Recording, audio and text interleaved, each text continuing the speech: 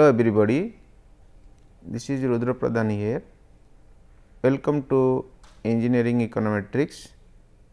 Today we will continue with nonlinear regression modeling. As we have discussed earlier, nonlinear regression modeling have two parts that too with respect to dummy modeling. So, the first part is the dummy modeling with respect to independent variable and the second one is dummy modeling with respect to dependent variables.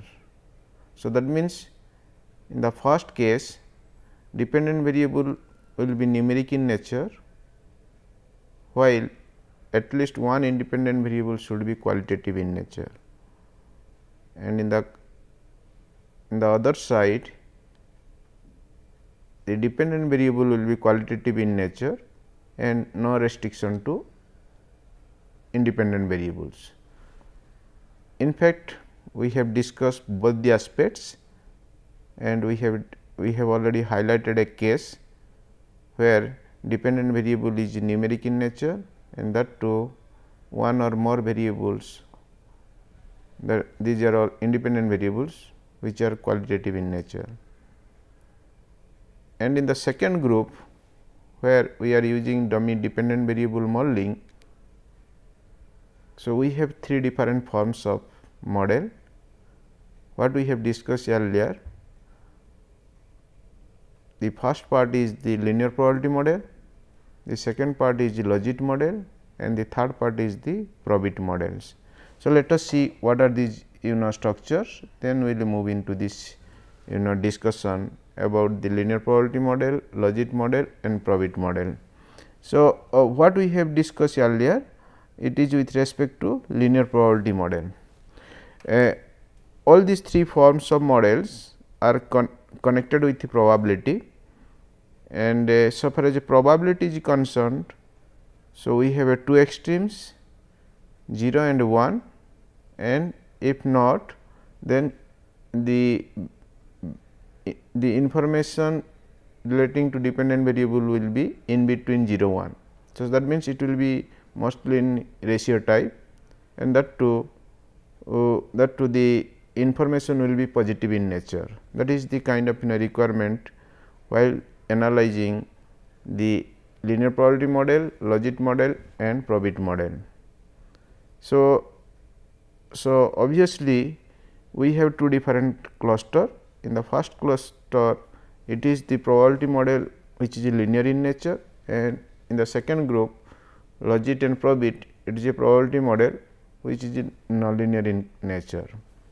So, in the first case uh, this the modeling will be simple like you know y equal to alpha plus beta x like this like like this. So, here this one is the dependent variable and a, a x is the independent variable.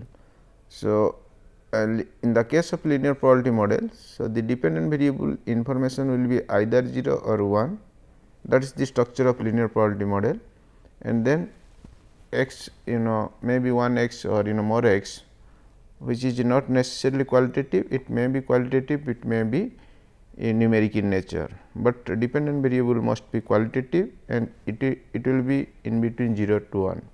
So, how will it transfer into 0 to 1 that is the kind of you know uh, example which you like to cite and that too we will find out a problems where this model can be fitted. So, that means all kinds of you know engineering problems this model cannot be applied.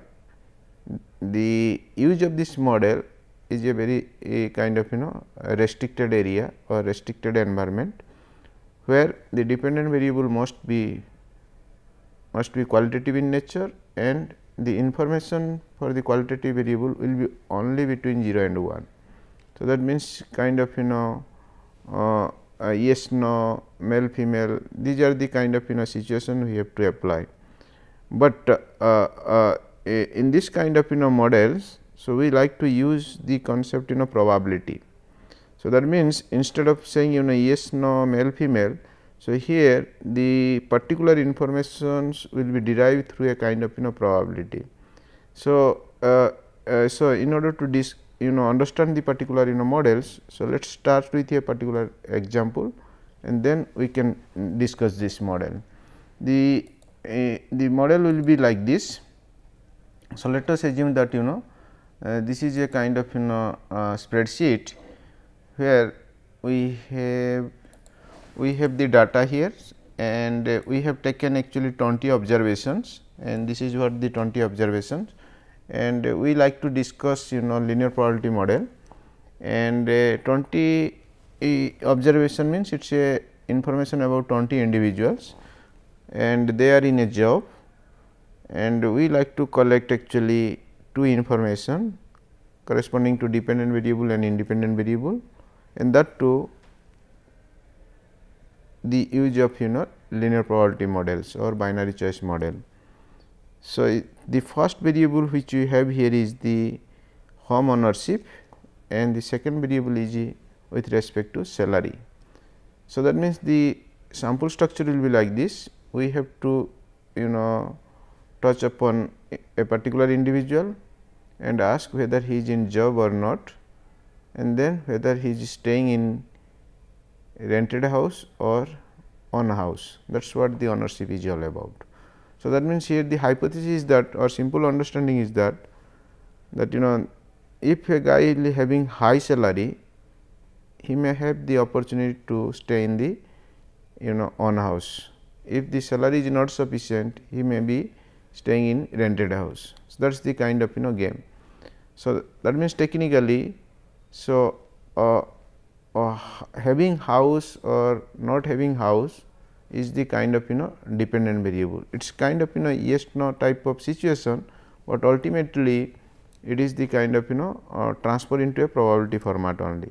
So, the moment you will say yes no, so then obviously in place of yes you can put 1 and in place of you know no you can put simply 0. So, so that means simply we will visit the customers or the particular individual, ask whether he is in job or not and if he, if he or she will be in job. So, then the first question will be what should be your salary structure and then second one is the whether you are staying in rented house or you know on house. So, as a result we have a clear cut information here. So, that means uh, in the first individual the in the case of in ownership it is a 0. So, that means he he is possibly staying in rented house not his own house and his salary structure will be 8 lakhs per annum. So, the figures uh, of salaries are in lakhs and then uh, lakhs per annum and uh, uh and uh, we like to know whether salary uh, you know is very useful component to decide to have the you know on house or to stay in the rented house. So, likewise we have actually 20 individuals. So, every time we are asking whether they are staying in the on house or rented house and what is the salary structure. And here the salary structure itself is a independent variable and uh, uh, having a house or not having house that means staying in on house or staying in rented house will be the dependent variable and that too the transformation will be 0 to 1. So, after doing the transformation that means technically the actual information will be yes no and uh, so where yes then it will be 1 here where there is no then you will put 0. Then after doing this then we have to we have to actually uh, uh, transfer the data in a structure form and then we will go for the estimation. So, the estimation process is you know usually you know same like the you know like the case of you know bivariate uh, you know regressions or simple you know multi multiple regression. So, here we, we can still use actually data analysis package and uh, click this uh, this ones and then we choose the regression and put ok. After putting ok so then you will see here so uh, our target is here to give an indication about the dependent variable. So this is what the dependent variable indication. So we we will highlight all the samples and then we can give the input range starting with you know 8 lakhs to oh, 16 lakhs and then we fill up the you know structure. And after that you just put actually ok. So, by default we will have a results here. And this is what the results right. So, as usual this is a bit simple regression estimation. Only thing we need to actually uh, structure the data and then go for the estimation. And uh, structure of the data itself has lots of you know interpretation and then we will predict uh, the kind of you know situation whether uh, salary is a factor uh, you know to decide whether to whether a guy will stay in a, a rented house or in a kind of you know on house right. So, that means technically it is the it is the game which with respect to yes no and then that will be transferred into 0 1 and then finally, we like to regress. Then as usual we like to check whether the coefficient of you know salary is significant to 1 while deciding uh, to stay in a on house or the rented house. So, as a result we have the results here. And uh, of course, you know the results are not so good here, but uh, uh, by the way the coefficients are you know uh, very low. And uh, the the kind of you know uh, r square is also very low, but by the way it, it gives a kind of you know positive indication. That means you know the impact is positive. So, that means technically the simple interpretation will be like this. So, uh, you know having a, having a, you know more salary then the guy can stay in the rented house. And uh, having low salary the guy may be staying in a uh, in a uh, means if the salary structure will be high then he will be staying in one house and uh, uh, when the salary structure will be low then he will be staying in the rented house. So, uh, so obviously, so the theory says that you know there is a positive relationship between the two. So, that means a, a salary and the a, a, housing structures will be a positive link.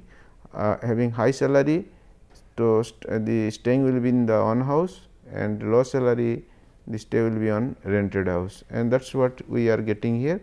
And in fact, uh, the particular coefficient is not statistically significant. Even f is not statistically significant. And then the r square is also not actually too high.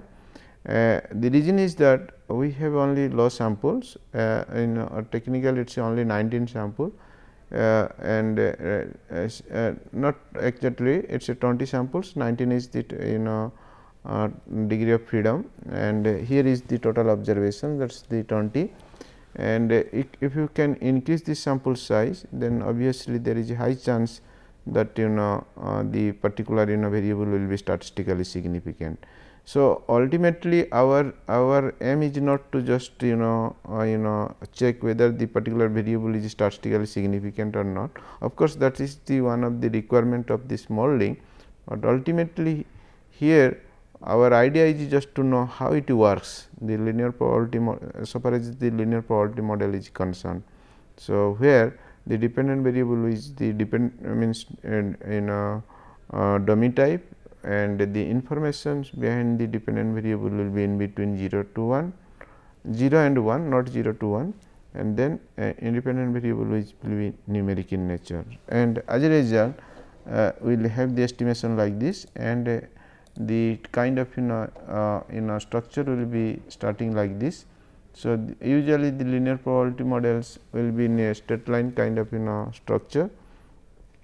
So, it will be a, a, in a kind of in a increasing a slope where the indication is that you know uh, you know uh, salary structures and the you know uh, uh, persons having house on house is actually positively linked. So, this this graph itself is giving such kind of know indication because this slope is actually coming positive.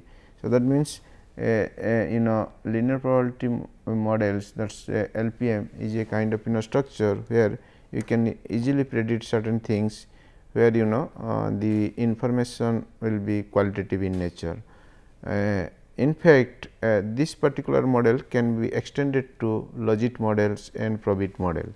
So, that means the same problem. So, that means uh, here the issue is that you know we like to uh, decide or we like to know whether salary is a factor or you know to decide whether a customers or a kind of you know uh, uh, you know kind of you know persons who can stay in one house and rented house. The same problems can be tested through linear probability model, logit model and the probit models. So, now what is happening in the case of in a linear probability model this particular sample is enough to go ahead with the estimation even if it is not statistically significant, but model is working. So, that means uh, you know the particular information is correctly specified to test this particular you know inference.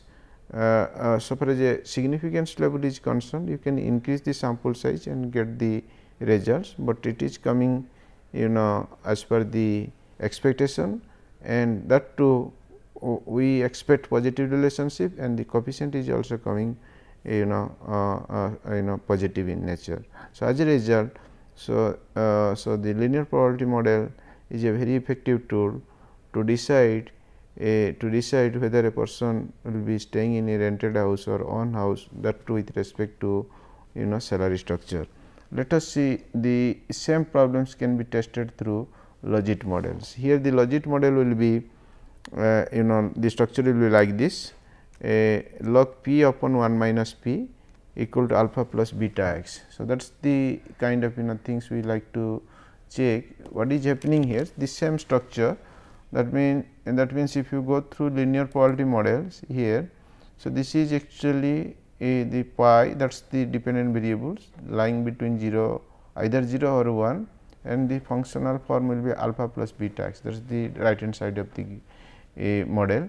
And in fact, this is also same here. The right hand side of the game is more or less same compared to linear probability model.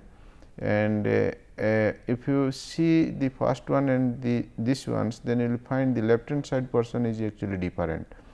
So, here the transformation uh, uh you know transformation is the log p upon 1 minus p that is the uh, items which is actually called as you know odd ratio.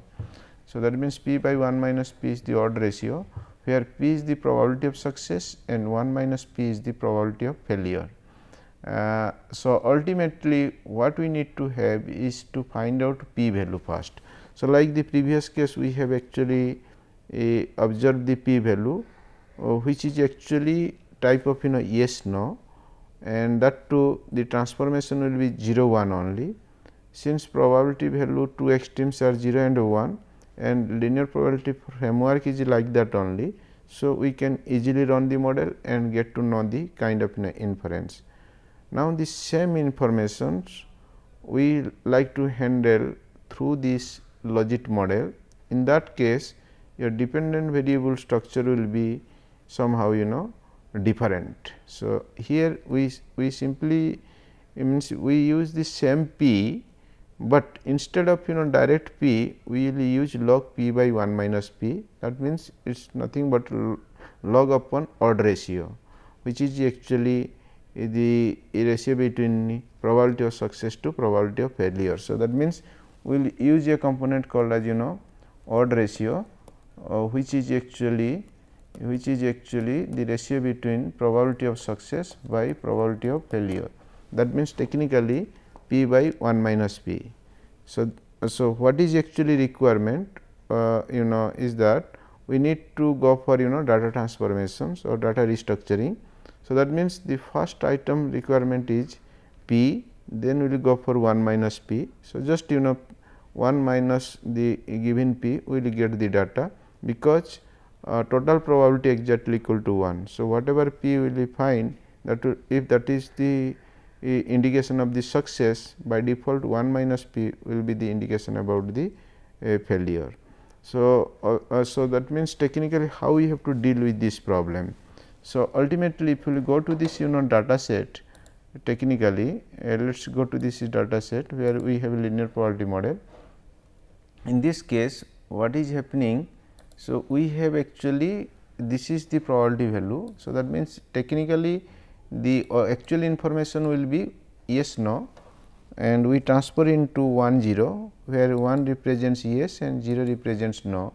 So, now by default this will be this will be the indication of you know uh, probability right. So, either probability will be 0 or probability equal to 1.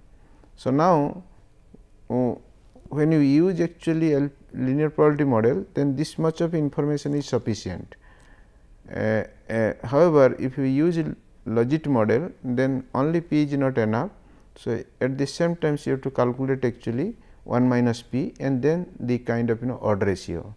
So, obviously, the odd ratio is p by 1 minus p. So, uh, so as a result, so this this sample is not sufficient to help to calculate the you know odd ratio because uh, it is the ratio between p by 1 minus p. So, when p equal to 1 by default 1 minus p equal to 0. So, if that is the case then the whole ratio will be equal to infinite. So, now log of infinite is undefined. So, as a result so that means technically the log of p by 1 minus p is the odd ratio. So, where where uh, you know uh, the issue is that you know uh, you first calculate p and then you calculate 1 minus p and then finally p by 1 minus 1 minus p. So, which is the kind of you know requirement. So, now what is happening if p equal to 1 that is one extreme then 1 minus p equal to 0 and when p p stands to 0 then 1 minus p stands to 1. So, now when p equal to 1 then 1 minus p equal to 0.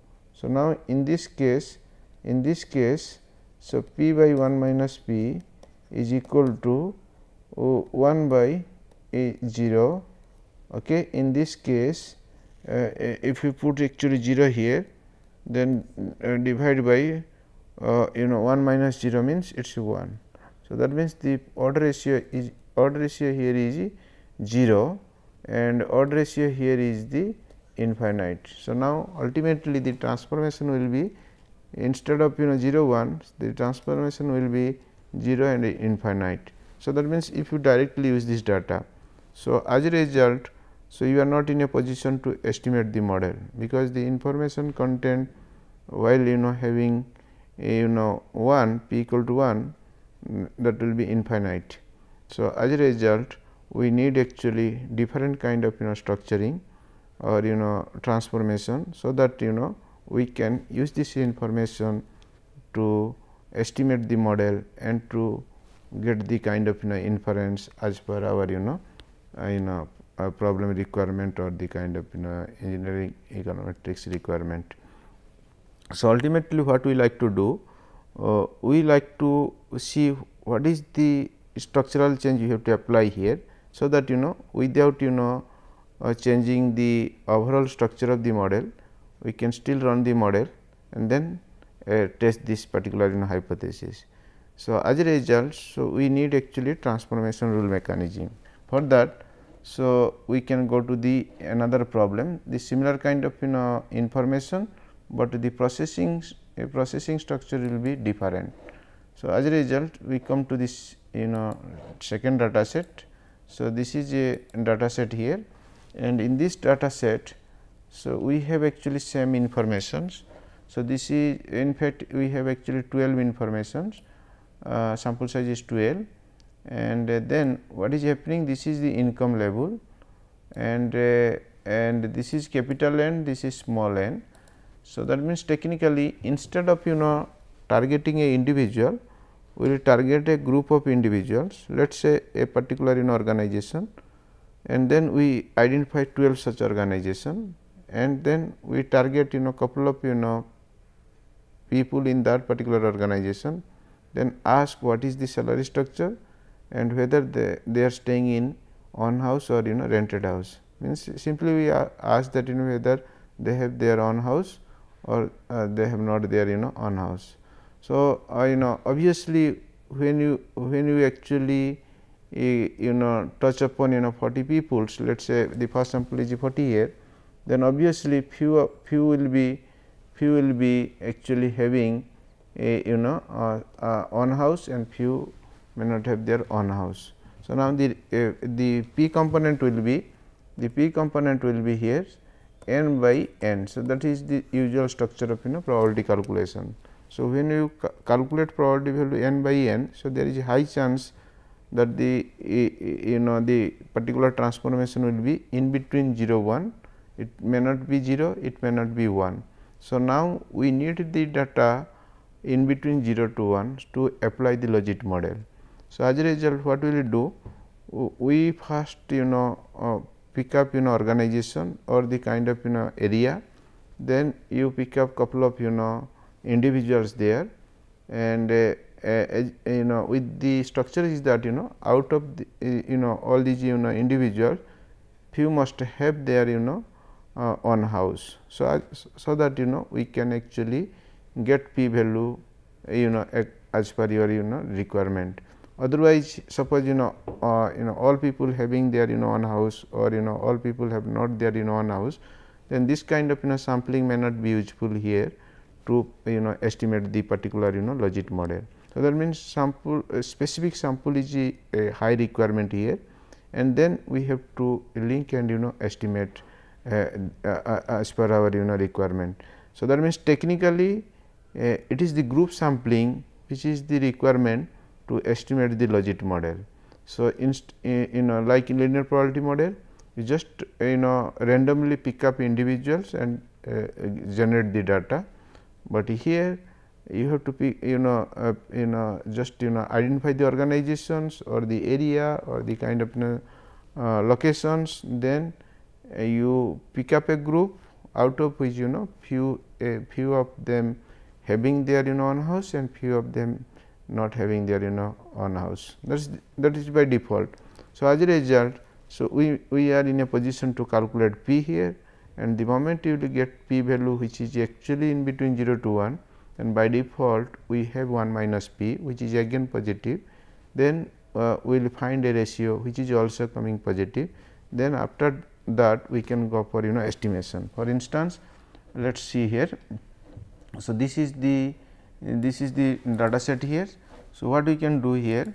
So we can calculate p here. So this is what actually uh, we can we can have here. This is actually let us say p indications so now the p indication will be 8 by 8 by 40 okay and then you can just scroll it and you will have the structure is like this okay so then ultimately so this is actually p value and you see here the p value range is actually between you know uh, 0 to 1. So, it is not exactly 0 it is not exactly 1.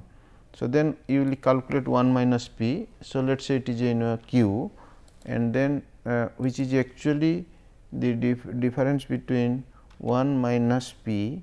So, that is the, the first one is the 0 0.2. So, you can uh, by default it will be 0 0.8.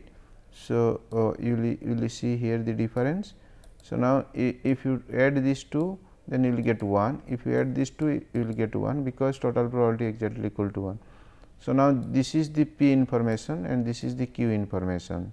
So, what we need actually we need a you know transformation. So, what is the transformation that is actually a you know p by q that is the uh, uh, odd ratio. So, the odd ratio let us say that it is O. So, which is nothing but actually p you know divided by uh, q. So, that will be having okay sorry this will be equal to. So, p divided by uh, q. So, you will get a ratio here. So, okay. So, that will be 0.25 and then you just you know generate the series. So, we have a series like this. Okay. So, then what will you do that is that is called as you know p by 1 minus p and uh, uh, what will you do uh, we will go for log one you know odd ratio. So, as a result you can go for another round of you know transformation which is nothing but you know log transformation. So, put you know log here and uh, okay. Uh,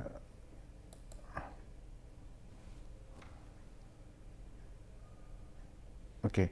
So, this is the log transformation. So, now you can just give any indications you will find log transformation here. So, this is what the log transformation.